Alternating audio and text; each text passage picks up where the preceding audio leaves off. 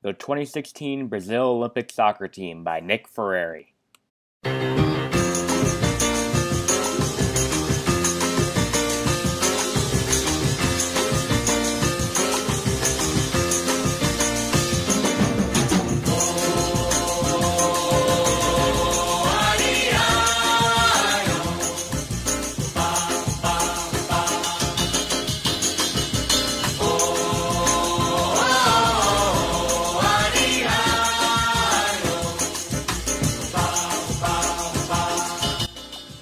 Brazil, a country known for its beautiful beaches, vast rainforests, outrageous parties, and of course, soccer. With the national team wearing its iconic yellow jerseys, this soccer obsessed nation has won nearly every international soccer competition, including five World Cups,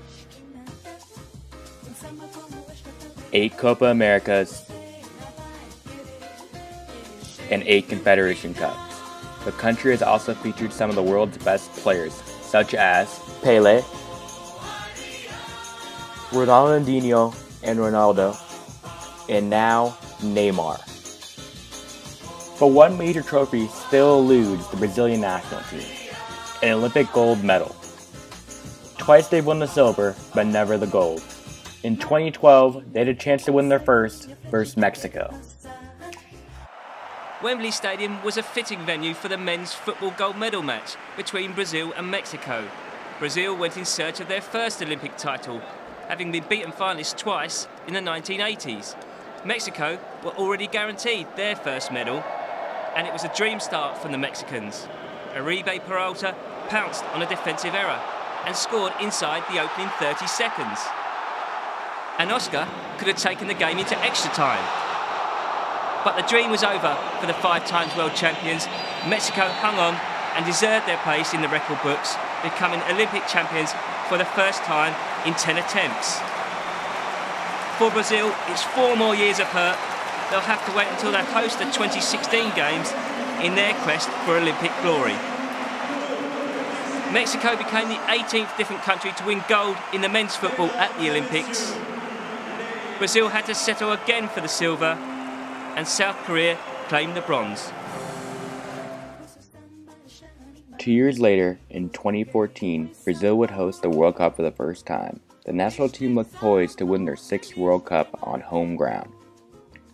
But in the semifinals, Germany handed Brazil the worst loss of all time, a 7 1 shocking defeat.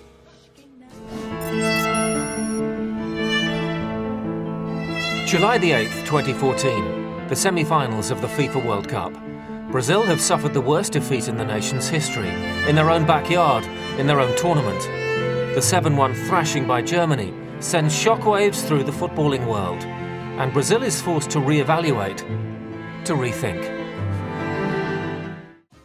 Brazil would have to rethink quickly, as they would be the host for the Olympics in 2016, only two years after their devastating World Cup loss. Many Brazilians protested the hosting of the Olympic Games because of the financial problems the country is facing.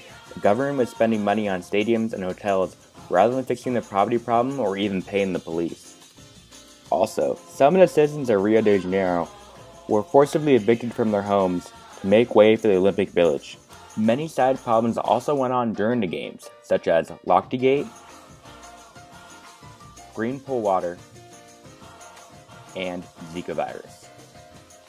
Meanwhile, the Brazilian national team are on their way to the gold medal match after beating Honduras 6 0 in the semifinals. They will be facing a familiar opponent in Germany, a team that had just embarrassed them two years prior. The gold medal match would be 1 1 after full time. Brazil would now have to win on penalty kicks to reunite the country and win their first gold medal. The joint leading goal scorer in this tournament with six goals, five of them against Fiji and a goal against Nigeria in the semi-final. Nils Petersen of Freiburg, one of the overage players for Germany, steps up. Denied by Weverton! The roof, if there were one, would have been completely off now. The Atletico Paranaense goalkeeper Weverton. Such surprise, such joy at being called up for this Brazil Olympic squad. Coming in to replace Fernando Prass at last minute who fractured his elbow on the eve of the tournament has just set it up perfectly for Neymar to confirm Brazil's first Olympic gold medal. Is it to be? He wrote his name in the history books with the quickest ever Olympic goal in the semi-final. After the Weverton save, he's gifted Neymar the opportunity to conclude it here. Neymar of Barcelona, of Brazil, gives Brazil their first ever Olympic gold medal. Such delight, sheer joy, and the pain of the 7 1 loss to Germany at the World Cup forgotten. There is Klose now in Brazilian football once more. The only piece of silverware missing from Brazil's enormous, exceptional, extended trophy cabinet was the Olympic gold medal. They have now secured that. And there is relief and joy and celebration. It's a carnival in the Maracanã.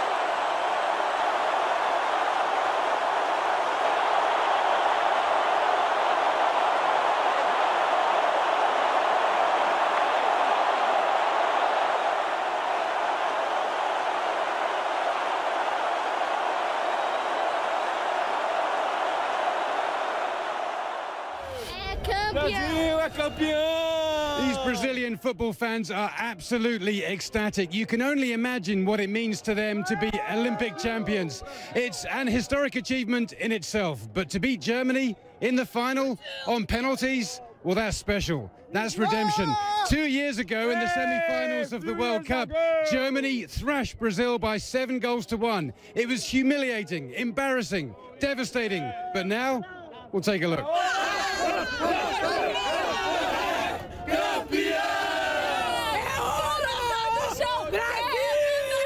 How does it feel to see Brazil be Olympic champions?